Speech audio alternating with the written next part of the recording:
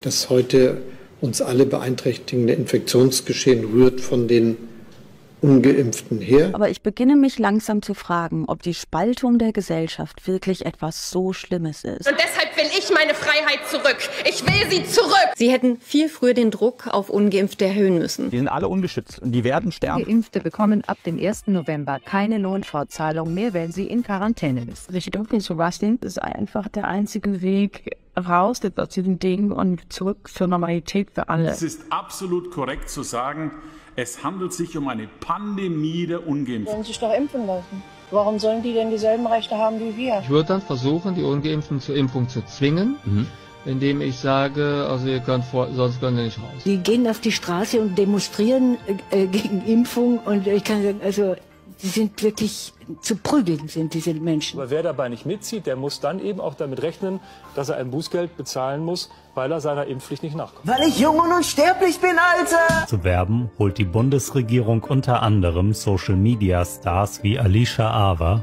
InScope 21 oder 24 Tim ins Boot.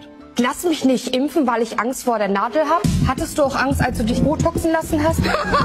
Oder bei den Tattoos auf deinem Körper? Ich glaube nicht. Also lass dich impfen. Na, herzlichen Dank an alle Ungeimpften. Dank euch droht der nächste Winter im Lockdown. Vielerorts wieder ohne Weihnachtsmärkte, vielleicht wieder ohne die Weihnachtsfeiertage im Familienkreis. Ohne Impfen gibt es auf Dauer keine Freiheit, meine sehr verehrten Damen und Herren. Alle Impfverweigerer müssen sich den Vorwurf gefallen lassen, an der derzeitigen Situation mitschuld zu sein. Kinder sind zurzeit gemeingefährlich. Was die Ratten in der Zeit der Pest waren, sind Kinder zurzeit für Covid-19. Wirtstiere. Eine schwierige Situation, die Josua Kimmich da geschaffen hat. Er nimmt sich ein Recht raus, das viele Fans nicht haben. Sie müssen geimpft sein, um ins Stadion zu dürfen.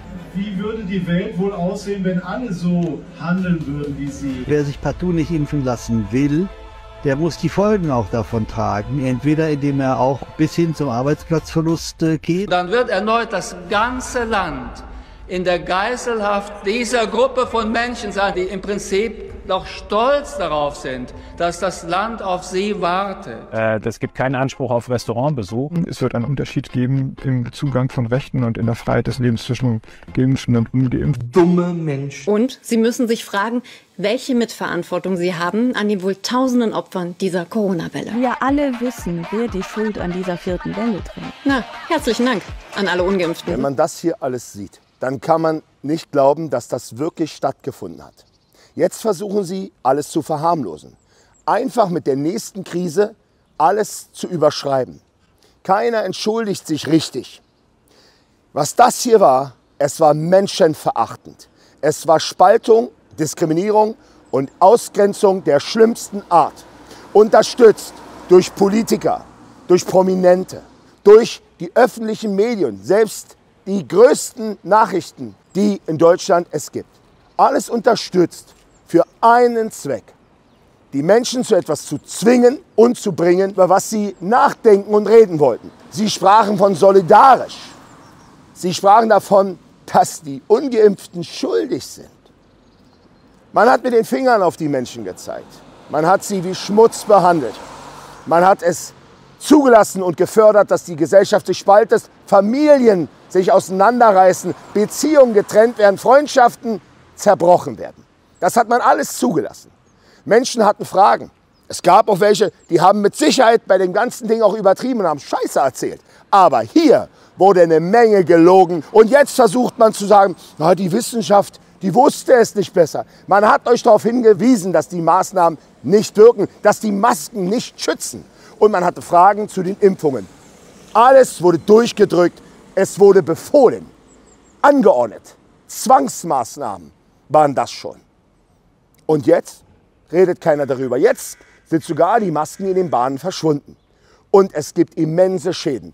Ein Herr Lauterbach hat gelogen. Er hat gelogen, als er gesagt hat, eine nebenwirkungsfreie, kostenlose Impfung. Kostenlos waren sie auch nicht. Die Steuerzahler haben Milliarden bezahlt. Es wurden Milliarden Gewinne gescheffelt. Er hat gelogen.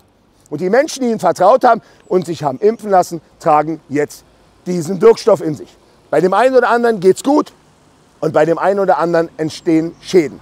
Keiner will darüber reden. Herr Lauterbach schiebt die Verantwortung vor sich. Er lässt die Menschen im Stich.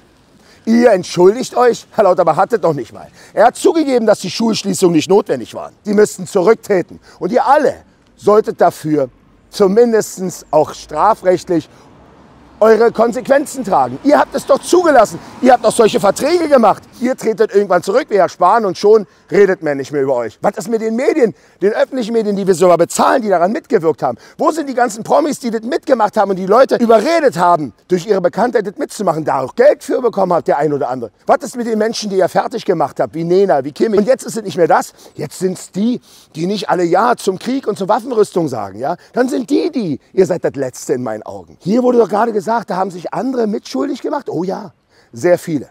Geht aufeinander zu und entschuldigt euch. Und die Politik, die dafür die Verantwortung tragt, die sollte geschlossen zurücktreten. Und sie wird vor Gericht gezogen. Es gibt Anwälte, die eine Klage einreichen für diese Verantwortlichen. Und das sollte man auch. Das darf nicht einfach totgeschwiegen werden und einfach zur Normalität übergegangen werden. Das muss aufgearbeitet werden. Das ist ein Riesenskandal. Und die Menschen, die dürfen nicht in Stich gelassen werden. Die haben euch vertraut. Die haben Ihnen vertraut, Herr Lauterbach. Und Sie haben dieses Vertrauen missbraucht, wie andere auch. Da sind Sie nicht der Einzige. Und wenn ich dieses ganze Video sehe, da wird mir kotzübel. Aber heißt es ja so schön, wir vergessen nicht. Und sowas sollte man auch niemals vergessen, damit diese Menschen nicht damit davonkommen und einfach weitermachen können. Und beim nächsten Mal läuft es wieder so. Ja? Ich bin ein Bürger und ein Vater und ich schütze meine Kinder. Und ich schaue auch nicht weg, wenn so eine Scheiße passiert. Und ob ihr mich denn nur als Schwubbler bezeichnen wollt oder als Reichsbürger oder als das, ich kann nur sagen, ihr könnt gerne so blind in eine Richtung bewegen, könnt ihr machen. Ich denke nach. Das hat nicht mit quer, sondern mit Klardenken zu tun. Und ich frage mich immer, wer hat hier eigentlich den großen Profit gemacht? Ach so, ist es nicht BioNTech, die jetzt so viel Kohle gemacht haben und sich jetzt ins Ausland absetzen? Jetzt, wo hier alle teurer wird? Habe ich zumindest so gelesen, nicht wahr? Naja, mal gucken, wie lange der Krug noch zum Brunnen geht, bis er bricht. Das, was hier gelaufen ist, ist meines Erachtens ein Verbrechen an der Menschlichkeit gewesen. Und da haben sich viele mitschuldig gemacht. Und die Politik trägt die direkte Verantwortung dafür. Und die Menschen aus der Gesellschaft, die vielleicht es geglaubt haben, sollten wieder aufeinander zugehen, sich entschuldigen und sagen, dass das der falsche Weg war. Jeder hat Fehler gemacht. Aber wir sind ja nur viele von uns geleitet worden, auch von der Angst. Angst und Panikmache. Unser Angstminister, Panikminister Lauterbach, den es nur um seine Selbstdarstellung und seine Macht ging, hat ja genug davon verbreitet. Und viele hatten auch Angst. Und ich verurteile niemanden, der sich hat impfen lassen aus aus Angst oder sich schützen wollte oder Masken tragen möchte. Manche laufen ja jetzt noch mit rum. Das könnt ihr tun. Aber ihr habt der eine oder andere Finger auf andere gezeigt, habt sie beschuldigt, ihr seid schuld. Man hat den Kindern suggestiert, ihr seid schuld daran, dass eure Großeltern sterben. Was für einen Dreck habt ihr von euch gegeben? Ihr habt euch so unmenschlich verhalten und habt diese Spaltung, Diskriminierung gefördert. Ich hätte nie gedacht, dass so was möglich ist. Ich habe mich immer gefragt, wie Dinge überhaupt möglich mal waren in unserer Geschichte. Aber wenn ich sehe, wie blind Leute hier rumgerannt sind und sofort nicht mal eine Frage haben zugelassen, auch jetzt, man stellt eine Frage, man, man kämpft für Diplomatie und für den Frieden und trotzdem wird man angegriffen, ey, guckt mal hier, sucht euch einen Finger aus. Und den steckt ihr euch ganz tief hinten rein. Schaltet euer Hirn ein. Mir ist das scheißegal, was ihr denkt von mir, was ihr halten wollt von mir. Millionen von Menschen denken genauso wie ich. Und es sind keine Schwubbler oder Nazis oder irgendwelche Verschwörungstheoretiker, sondern es sind Menschen, die für dieses Land keinen Krieg wollen, die für dieses Land wollen, dass die Menschen wieder zusammenwachsen und dass die Probleme und Missstände bekämpft werden und nicht totgeschwiegen, verharmlost und gelogen wird für Profitgier, Machtgier, Geldgier oder für irgendwelche Leute, die ihr Ego streicheln lassen wollen, weil sie ansonsten nichts zu melden haben.